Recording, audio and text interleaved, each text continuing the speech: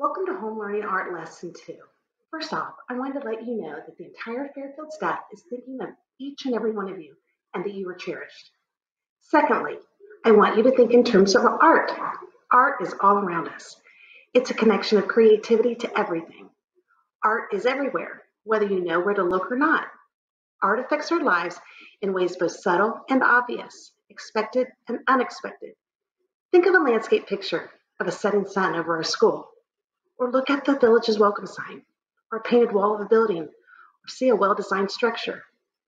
It is the creation of art. It's the design on your soda can and cereal box, or the graphics of the video game that you just have to beat. It's the quilt your grandmother made you years ago. It's the CD cover from your favorite music, or the books stacked on your bedside table. It's all art, and it affects our lives. It's in merchandising and nature, and the spider web in the barn. The three classical branches of visual arts are painting, architecture, and sculpture. We know how much you're missing our little town, so I put together a slideshow of photos that showcase these.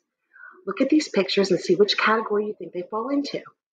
When you are finished, take a picture of something that you deem as art, or draw, paint, design, or sculpt something and post it to Facebook or send it back to me.